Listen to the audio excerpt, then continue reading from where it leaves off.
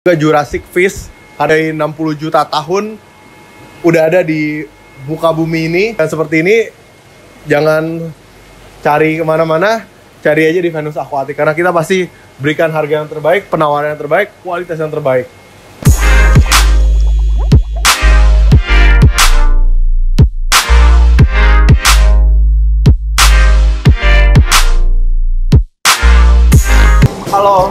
suka ikan hias ya? Kalau kamu suka ikan hias dan kamu baru ketemu, baru kenalan dengan channel ini, jangan lupa subscribe ya, karena channel ini sangat bermanfaat untuk kamu yang suka ikan hias dan jangan lupa kalau subscribe itu gratis. Dan buat kamu yang rajin like, rajin komen, apalagi komentar-komentar yang positif, itu sangat berharga buat kami. Dan kami juga sangat mengapresiasinya dan dengan banyak hadiah dan giveaway buat teman-teman yang aktif membangun channel ini juga. Jadi jangan lupa ya di subscribe, tekan juga tombol loncengnya supaya kamu update terus dengan video terbaru dari Venus Aquatic.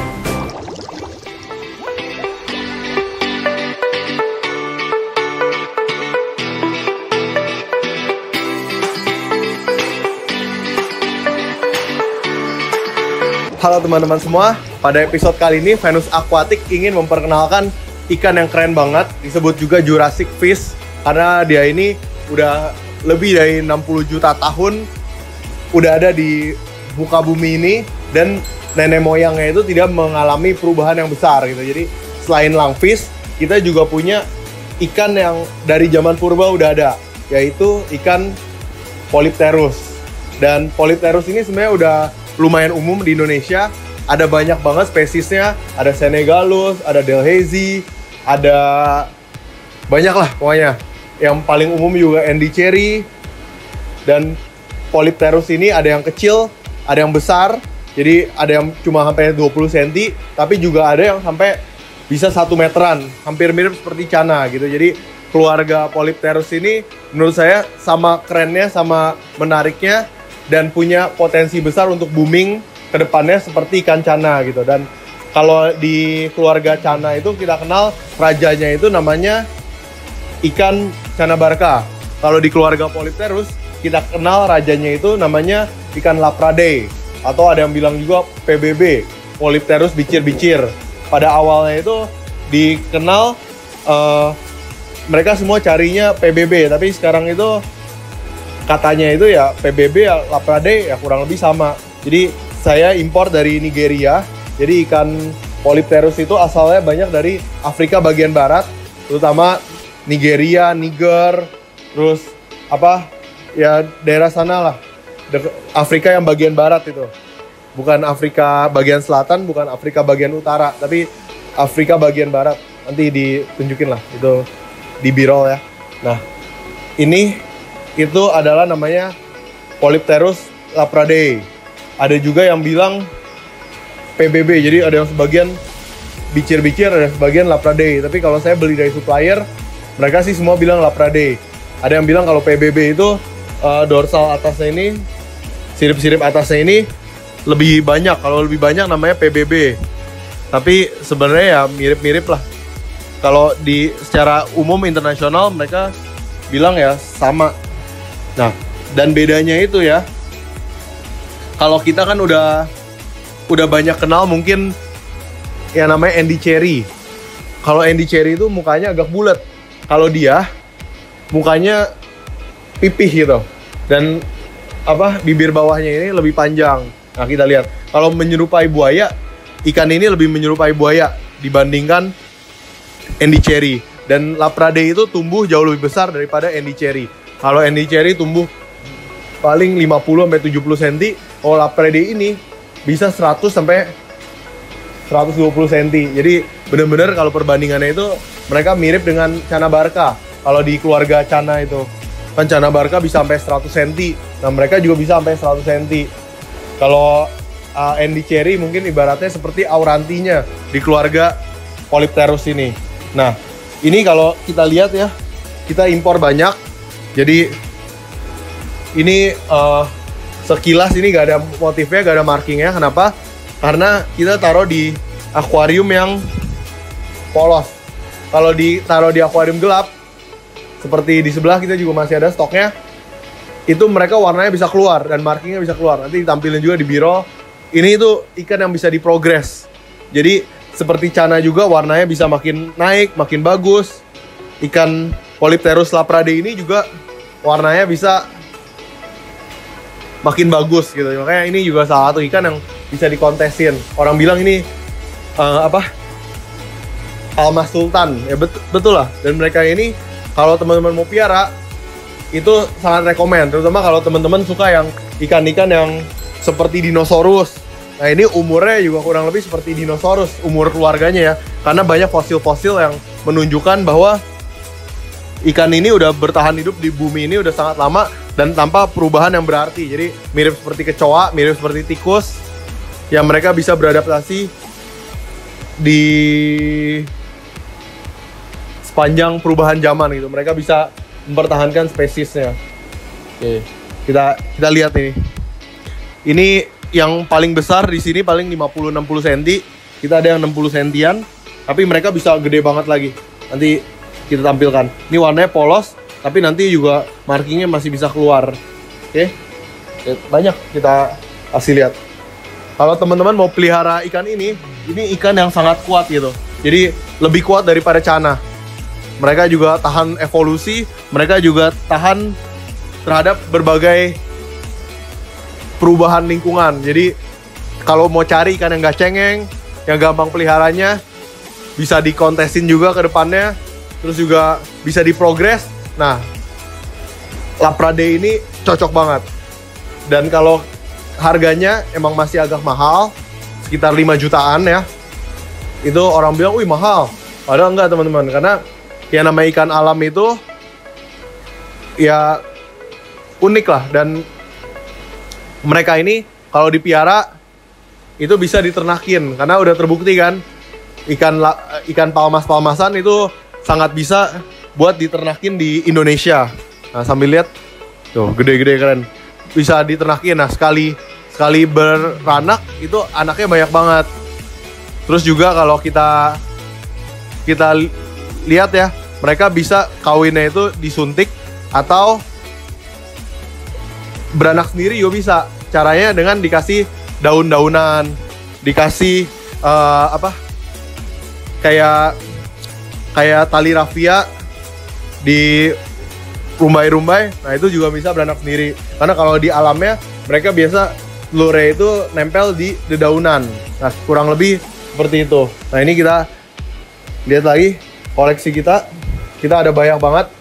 Kalau mau datang bisa ke toko kita lihat. Bisa juga ke farm kita. Nah, ini nanti motifnya ini bisa berubah-berubah nih motifnya. Motifnya tergantung dengan dengan kalau kita kasih tempat gelap nanti warnanya bisa keluar kalau di tanning kena cahaya matahari nanti bisa warna hijaunya keluar dan sebagainya gitu. Jadi ini selain keren bisa diprogres kalau mau diternakin ya udah udah piara.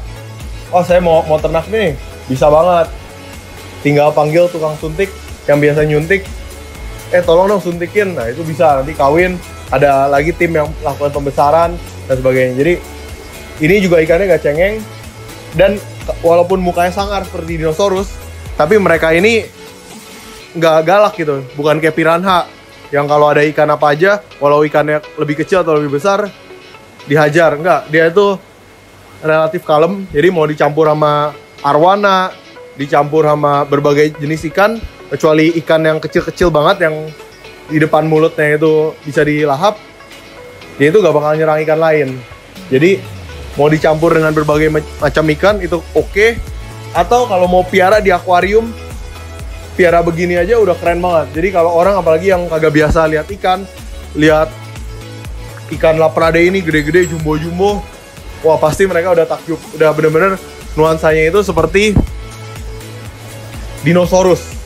Atau kalau yang seneng naga inilah naga Afrika yang sesungguhnya gitu. Jadi ini ikan yang keren banget dan rekomend banget. Kalau teman-teman mau cari ikan seperti ini jangan cari ke mana-mana cari aja di Venus Aquatic karena kita pasti berikan harga yang terbaik penawaran yang terbaik kualitas yang terbaik gitu jadi jangan cari ke mana-mana ya. Langsung aja bisa DM ke Instagram kita Venus Aquatic atau WA ke 0878 7878 5186 gitu. Jadi yang kasih nama oh ya. Jadi ini ikan itu pertama kali dikenal di dunia itu ol, dikenalkan oleh timnya Napoleon Bonaparte. Gitu. Napoleon Bonaparte tahu kan? Itu penguasa Prancis waktu itu. Dia datang ke Afrika buat menaklukkan Afrika. Afrika, mereka juga bawa tim ilmuwan ke sana. Tim scientist dan scientist itu sangat takjub lihat ikan seperti ini gitu. Jadi mereka tuh sangat amazed, sangat sangat apa ya? Waktu itu benar-benar jadi berita heboh. Ada ya ikan seperti ini. Jadi habitatnya itu banyak di Danau Turkana dan di Sungai Nil itu. Nah, mereka banyak ditemukan di sana. Jadi nggak di semua daerah Afrika, tapi terutama di Afrika Barat, Danau Turkana, Sungai Nil, mereka bisa ditemuin ini dan yang pertama kali menemukan dan mempublish di dunia itu ya itu timnya Napoleon Bonaparte. Jadi ini ikan bersejarah, udah mulai dikenal di dunia dari tahun 1800-an. Tapi baru masuk ke Indonesia ya mungkin tahun 2000-an baru pertama kali masuk. Saya ingat waktu itu pertama kali yang masuk dan populer di Indonesia yaitu Andy Cherry.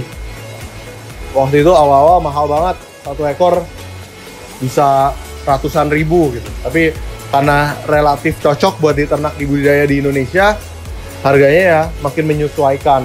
Tapi walau udah banyak Polypterus, tapi kalau Polypterus laprade ini masih jarang gitu, terutama yang besar. Jadi kalau mau beli yang besar sekalian itu masih oke okay banget. Karena kalau yang ternakan buat sampai sebesar ini itu gak mudah, makan waktu lama. Dan mungkin kasih makannya juga lebih dari 5 juta. Dan kalau di alam itu kalau teman-teman lihat satu spesimen, satu spesies dengan spesies yang lain itu ada keunikan. Beda-beda semua. Dari motifnya beda, dari tampangnya pun bisa dibedain dari bentuk tubuhnya juga semuanya beda. Karena kalau di alam itu kan mereka ada ketemu si A, ketemu si B, bisa kawin silang secara alami. Jadi kadang seperti orang aja, nggak semua misalnya dari suku Tionghoa 100%, nggak. Ada juga Tionghoa campur Arab, campur Jawa. Nah kurang lebih seperti itu kalau ikan alam. Kalau ikan alam tuh ada Laprade, campur Andy Cherry sedikit, campur jenis lain lagi sedikit, Nah, kurang lebih seperti itu. Bisa silang menyilang secara alami. Kalau di ternakan kan ya udah paketan. Dia lagi dia lagi ketemunya. Kurang lebih seperti itu. Makanya kalau ikan alam itu banyak keunikannya dan dia satu ya jumbo. Bisa jumbo dan daya tariknya juga beda gitu. Jadi makanya kenapa saya berani invest dalam jumlah besar di ikan Polypterus laprade ini karena ya digedein gak rugi bisa diternak eksotik juga dan beda-beda gitu dan bisa diprogres gitu.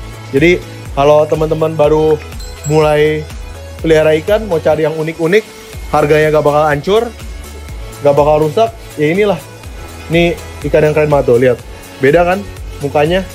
Setiap spesies setiap spesimen itu beda-beda. Dan jangan lihat mereka bule seperti ini Nanti kalau dikasih pasir malang warna merah atau dikasih background hitam, dikasih lampu bakal keren banget gitu. Jadi ini spesies yang rekomend banget dan gak usah tanya susah piaranya nggak ini piaranya tuh gampang banget. Oke, jadi sekian aja video tentang Laprade pada episode kali ini. Moga-moga teman-teman uh, belajar banyak dan kalau pengen piara sangat di encourage buat mulai pelihara Laprade ini karena ya ini oke okay banget lah. Gitu. Komunitasnya juga besar. Jadi kalau pelihara ikan ini dapat banyak teman baru yang sehobi dengan ancient fish satu ini. Jurassic fish yang keren banget. Oke. Okay. uh, kalau kamu ada pertanyaan seputar Laprade bisa tulis di kolom komentar. Kalau kamu uh, suka ikan Laprade boleh tulis juga di kolom komentar apa sih yang paling kamu suka dari jenis Polypterus ini Nanti kita bakal lihat satu persatu komennya yang kasih komen terbaik. Kita ada hadiah pulsa Rp50.000 untuk komen terbaik. Apa yang kamu paling suka dari spesies Laprade ini. Oke, jadi itu aja video pada kali ini. Sampai jumpa di video selanjutnya. Dadah.